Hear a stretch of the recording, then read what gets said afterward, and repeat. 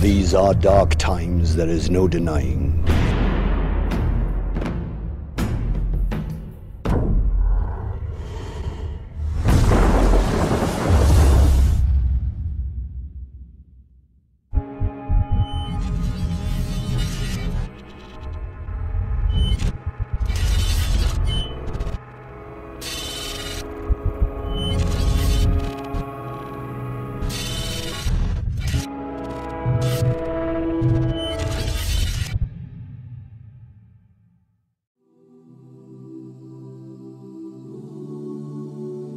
When this is taking place, the mother who's got a child, she on that day won't remember that she had a child.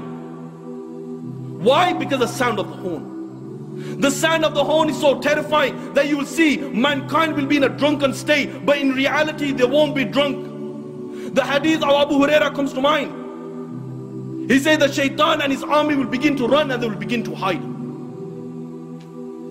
They will begin to run and they will begin to hide. The Quran says, on that day there is no refuge.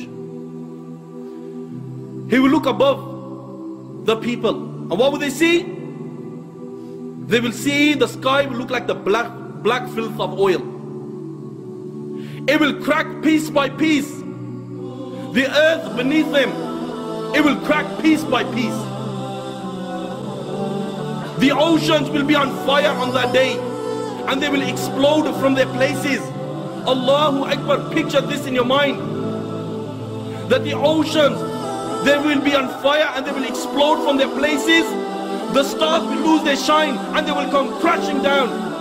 And there'll be darkness everywhere. And when there is darkness everywhere, nothing will remain. Every single thing in the universe will come to an end. The hadith of Abu Huraira says, that the angel of death it will say to Allah Oh Allah all those are in the heaven and all those are in the dunya. They have come to an end. Except for those who you wish to remain alive oh Allah Allah will say who remains?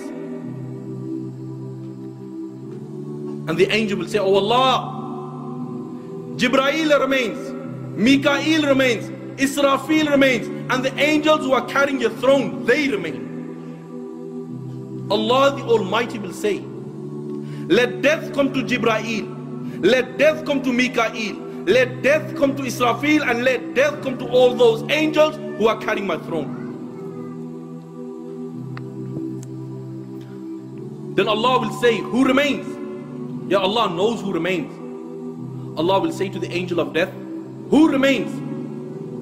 And the angel will say, Oh Allah, I remain, you remain, no one else remains. Yet then Allah will say, I created you for a purpose. You have fulfilled your purpose. You also die and He will die. And then Allah the Almighty, He will roll up all the heavens in His hands. He will roll up all the worlds in His hands and Allah will raise his voice and Allah will say, I am the Almighty Allah.